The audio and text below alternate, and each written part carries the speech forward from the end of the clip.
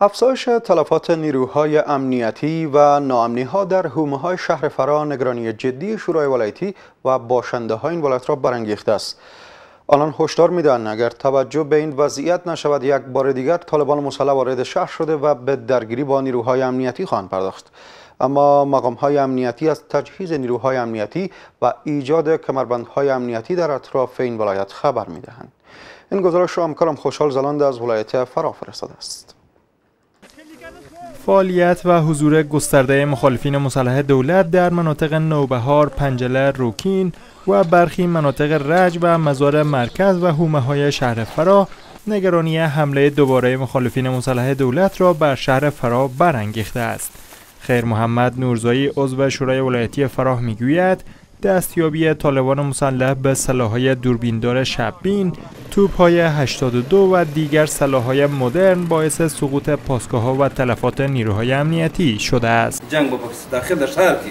اوس خو ولسوالی و کلی دا موضوع خلاص و جنگ را له شهر ته ودرید نو په شهر به جنگ دوام لري نو څو نفته دولت په لاس کې اندازه به طالبان.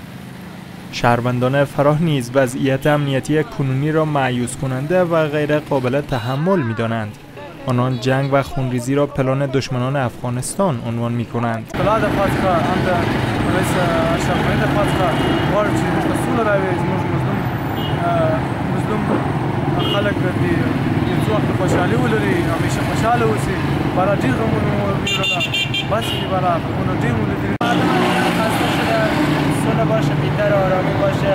یعنی چند روز سه روز خودش بس بوده که مردم فرار بسیار خوشحال بود. با خوشحالی سفری کردن در همین حال محب الله محب سخنگوی پلیس فرا از مستقر شدن نیروهای تازه نفس به ویژه نیروهای خاص کماندو در داخل شهر و مرکز فراه و ایجاد کمربندهای امنیتی خبر می‌دهد. در شب شخص خود مناسب با قطعات 444 مامیرین اوزاد در تمام کمربندهای شهر به طور گزمه می باشند و همچنان بزهای امنیتی با تحکیمات و استقامات قوی در کمربندهای امنیتی جا تاسیس شده که با تجهیزات مدرن جابجا می باشد.